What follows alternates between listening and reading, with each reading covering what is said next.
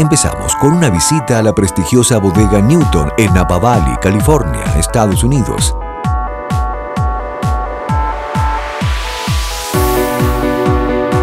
La primera bodega que vamos a visitar en Napa Valley es Newton, una de las bodegas más famosas y más reconocidas de este lugar. Esta bodega pertenece al afamado grupo Louis Vuitton Moet Hennessy. Newton es un proyecto que empezó muchos años atrás, en los años 70, con Peter Newton, que ha comprado la propiedad donde estamos hoy, el Spring Mountain, y después él buscaba también vino muy calitativo, pero uh, lo que es blanco. Y para hacer eso tuve que irse de la montaña e irse mucho más cerca de la cuesta, en Carneros.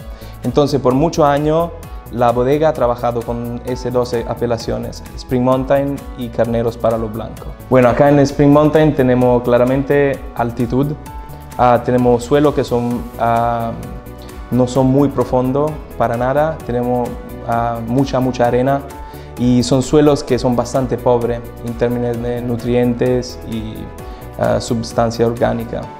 En Carneros las condiciones son muy diferentes, tenemos suelo con mucha argila, muy profundo, hondo y hay mucho más temperaturas mucho más bajas.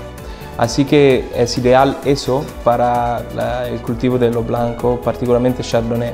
al revés, acá en Spring Mountain podemos hacer vino tinto muy calitativo, pero no anda mucho con lo blanco. Ah, para las condiciones, el suelo la temperatura y la exposición también. La bodega tiene una hermosa arquitectura y paisajismo.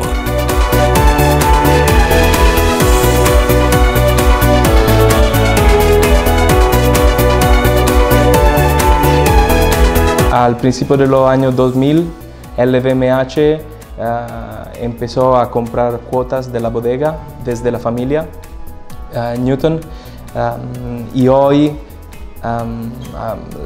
la empresa, la, bodega pertenece a LVMH casi en su totalidad y también eh, Newton Winery empezó a utilizar viñedos que Moet Tennessee tiene en Yanville y Montvideo.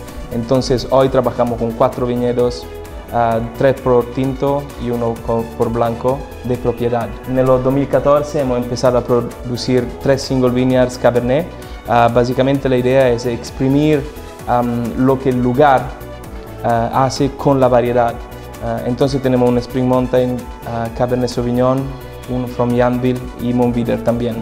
Y el winemaking, la vinificación es bastante similar en los tres. Lo que intentamos de explicar y poner en botella es la diferencia uh, gracias al lugar. Y eso es lo que queremos capturar.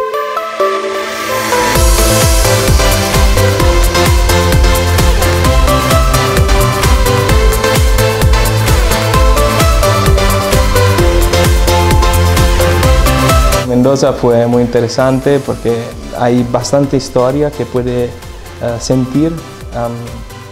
De, viticultura y, de vino. Ah, claramente las variedades son bastante diferentes. Ah, me gustó mucho trabajar con Malbec, pero también Cabernet se expresa muy bien en unos lugares alrededor de Mendoza. Ah, y es, como cultura eh, es muy muy parecido claramente a lo que tenemos en Italia y tiene sentido es una experiencia que yo me voy a acordar por, siempre. Al final entiendes que no es simplemente la enología lo que hace el vino, la verdad es que el lugar. Y todo lo que intentamos hacer hoy es expresar el lugar y ver la diferencia entre lugares que parecen chicos, pero llevan muchísima diferencia. Acá en Napa Valley hay diferencia entre 2-3 millas de distancia y eso es lo que intentamos que expresar. El terroir no existe simplemente en Europa, existe en cualquier lugar, pero hay que verlo, identificarlo y ponerlo en la botella. Ya seguimos viajando con vinos y placeres.